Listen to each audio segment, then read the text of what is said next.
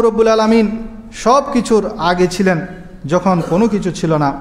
এবং আল্লাহ রব্বুল আলমিন সকল গুণ হলো জাতি। আল্লাহর যত সিফত আছে সেগুলো আল্লাহর জাতি সিফত। আর অন্য, অন্যদের যে গুণ, গুণাবলী আছে, মানুষের যে গুণাবলী, যত প্রাণী আছে, যাদের যত গুণাবলী আছে, সেই সবগুলো হলো মূলত আল্লাহর দান। আর আল্লাহর গুণগুলো সবগুলো সবগুলো হলো আল্লাহর নিজস্ব, আল্লাহর জাতি। আল্লাহ রব্বুল আলমিনের ব্যাপারে আরেকটা আকিদা হলো আল্লাহ তালা কোনো ভুল ভ্রান্তি থেকে পাক।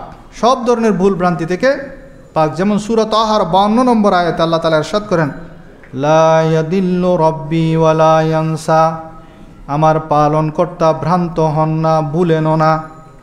তো আল্লাহর ভুল সম্পর্কে আমরা অনেক সময় এমন কথা বলি আল্লাহর ব্যাপারে, যেটা কুফুরি কালাম হয়ে যায়। কেহ যদি বলে, আমার কিসমতে আল্লাহ তালা কিছু লিখতে ভুলে গেছেন নাওজিবিল্লা এটা মানুষ অহরহ বলে। আমার কিসমতে লিখতে ভুলে গেছেন আল্লাহ তালা বলে না?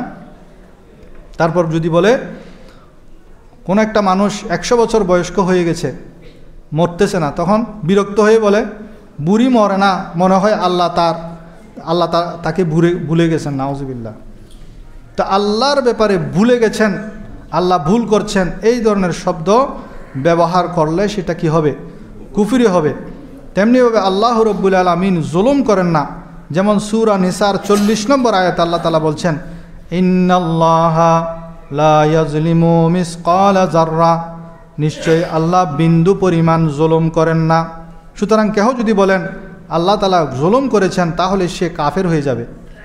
তাকে তজদিদে ইমান করতে হবে, তজদিদে নিকাহ করতে হবে।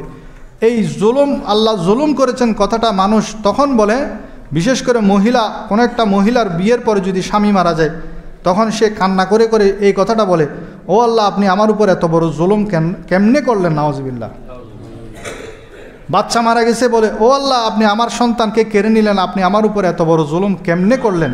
এ কেমনে করলেন করা, বলার সাথে সাথে তার ইমান কেমনে হয়ে গেছে? তাকে তজদিদে ইমান করতে হবে। সে যদি বিবাহিত হয়, বিবাহ নবায়ন করতে হবে। সেজন্য এই আকিদাগুলো আমাদের জানতে হবে। আমরা আল্লাহকে বিশ্বাস করি, কীভাবে বিশ্বাস করবে সেটাই তো জানি না। আল্লাহর কোনো কাজের উপর আমরা অভিযোগ তুলতে পারব না। মানুষের কাজের ব্যাপারে আপনি অভিযোগ তুলতে পারেন, কিন্তু আল্লাহর কোনো কাজের ব্যাপারে আপনি কোনো সওয়াল করতে পারবেন না। কারণ সুরা আম্বিয়ার তেইশ নম্বর আয়াত আল্লাহ সেটা বলেছেন, লা ইয়াস আলু আম্মা ইয়াফা আলু ওয়াহুম ইয়াস আলুন তিনি যা করেন তৎসম্পর্কে তিনি জিজ্ঞাসিত হবেন না। এবং তাদেরকে জিজ্ঞাসা করা হবে। যেমন আমরা কীরকম অভিযোগ করি আল্লাহর কাজে, যে আল্লাহ আমাকে গরিব কেন বানালেন? ও আল্লাহ, তুমি আমাকে গরিব কেন বানালে? ও আরেকজন যদি ধনী হয়, আল্লাহ, তুমি তাকে এত সম্পদ কেন দিলে? যদি সন্তান না দে বলে, আল্লাহ আমাকে সন্তান কেন দিচ্ছ না? যে আল্লাহকে প্রশ্ন করা, অভিযোগ করা আল্লাহর কাজের ব্যাপারে, অভিযোগ তোলা, এই সবই হলো কি? কুফুরি। আল্লাহ রব্বুল আলমিন কোনো কিছুর মুখাপেক্ষী নন। কুল হু আল্লাহ আহাদ, আল্লাহ সামাদ। বলুন, আল্লাহ এক, তিনি অমুখাপেক্ষী।